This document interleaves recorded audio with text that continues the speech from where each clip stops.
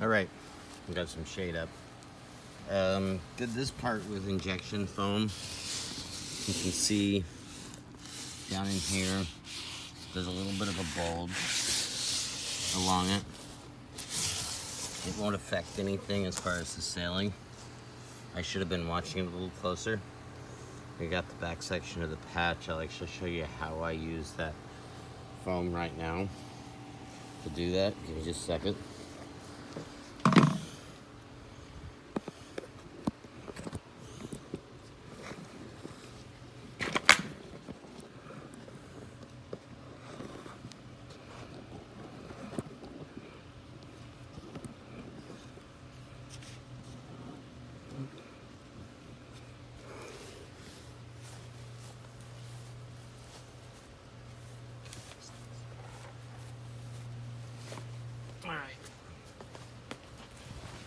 Stuff I'm using on this part is great stuff, injection foam. Oh, I forgot something.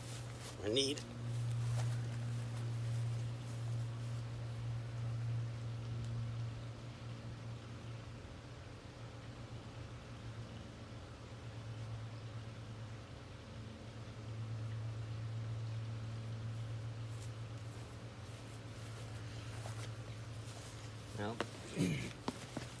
Need this.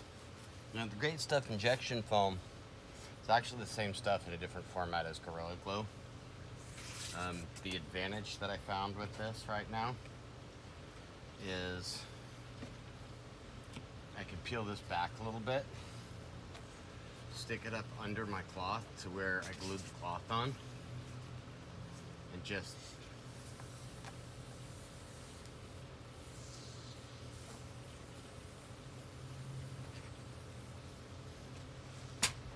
Ah, get a little bit under there. Got it all over myself.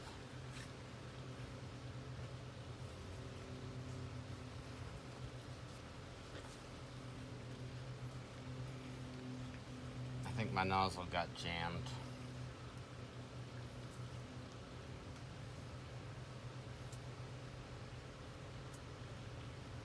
My knife isn't right here either, so.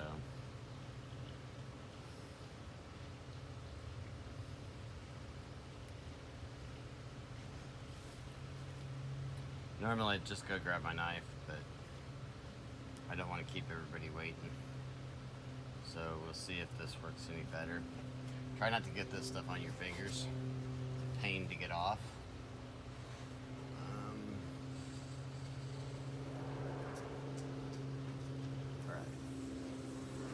That's a little better. You don't want to use too much. Um, you want to get it up far as you can. That's probably more than I needed. I do have a little hole right there.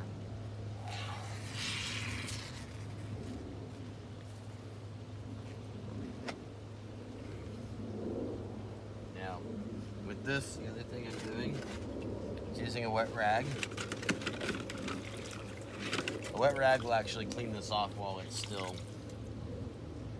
while it's still drying but will also help with the adhesion.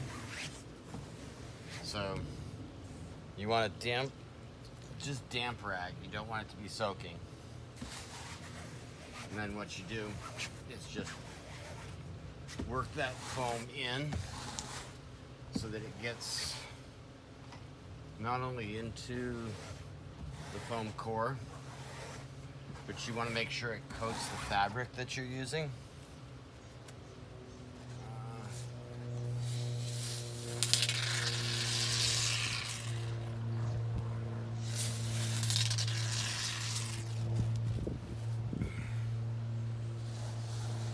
Seems to be easier to work it downward.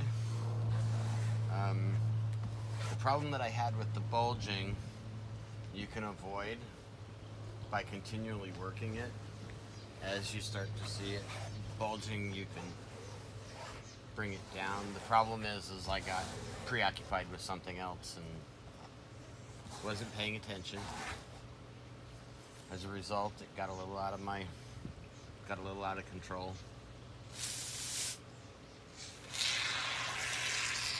Whoa. And it will foam up really fast.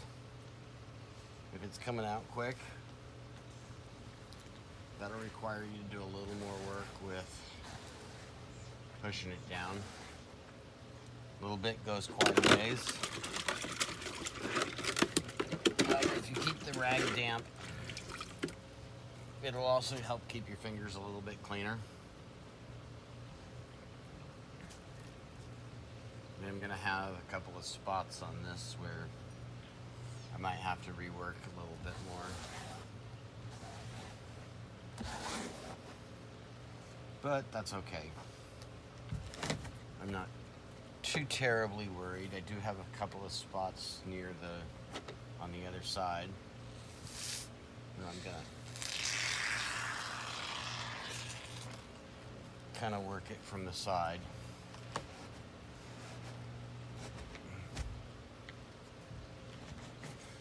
Particularly right along my ridge.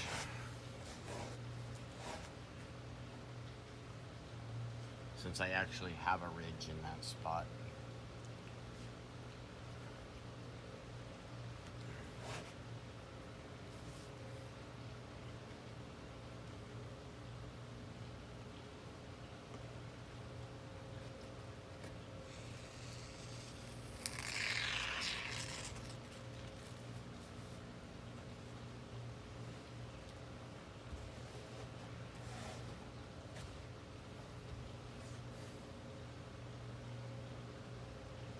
It's by no means going to be a perfect fix.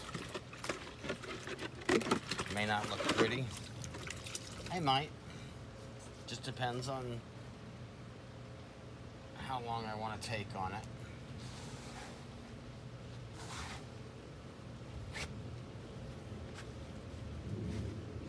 You start to see this white come through. That's actually the part of the polyurethane. You do want some of that to come through so you get a good so you get a good waterproofing on this fabric.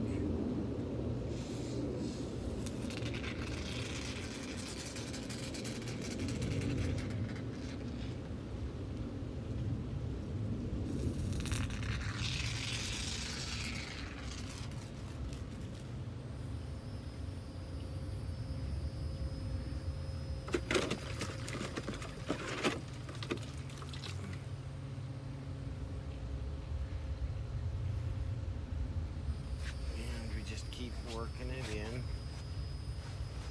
Work it down along that rim.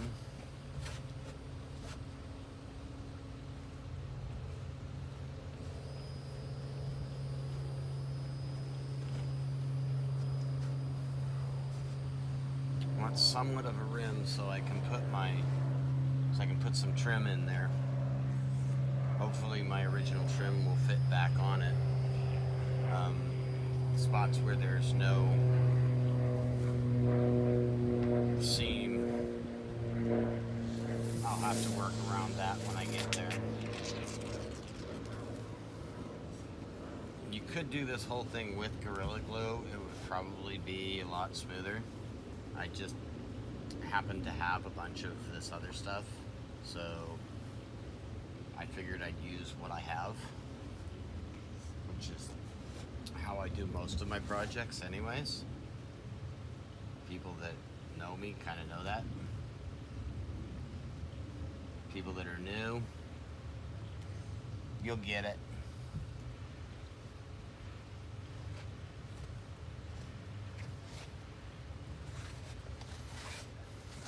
And that's that. I'll have to work that in a little bit more. As I work that in, it'll get a little better. But you can kind of see how it's coming together there.